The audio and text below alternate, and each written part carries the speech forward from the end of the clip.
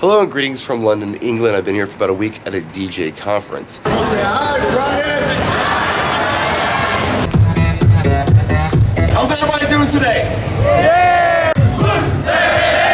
You guys make us feel so welcome here every year, year after year.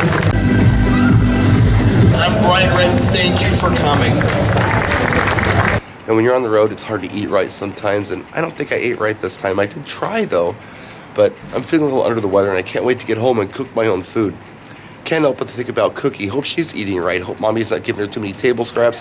Hope she's on her Pet Botanics diet and treats. It's gonna be the best thing for her. When I get home, I'm gonna find out because I'm gonna check her and see how she's doing. Make sure she's not getting bigger. Hopefully, she got smaller while I was gone. You know, she's doing real good. I feel better.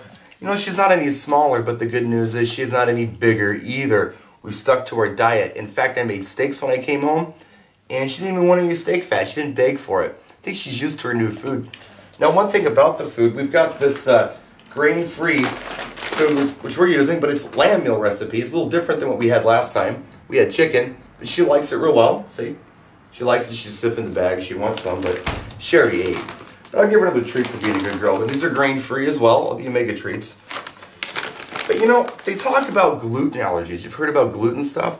I think maybe it's the same thing with dogs. Maybe some dogs just don't need that.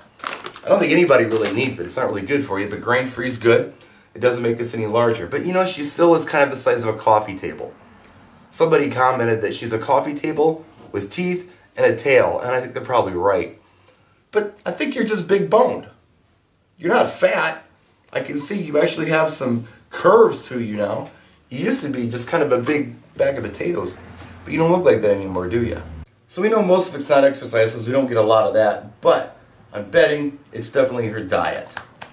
Now next time we're going to give Cookie a break. We're going to go out to my mom and dad's house and visit their dog. He's pretty cool. He's a rescue dog. He's a little Boston Terrier. And let's see if he goes as crazy over these Pet Botanics treats as Cookie does. As you can see, she's driving me nuts. So I got one in my hand and I think she wants it. So there you have it. We'll see you next time. And if your dog is eating Pet Botanics too, let us know how they like it. We'll see you next time and take care of your pet.